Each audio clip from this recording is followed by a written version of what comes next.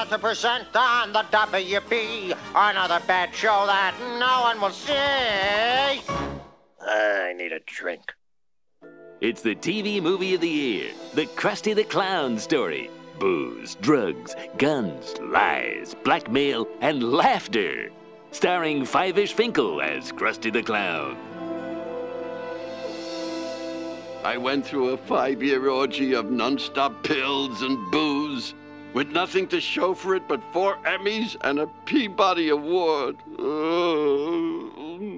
All right, they're gonna show his disastrous marriage to Mia Farrow.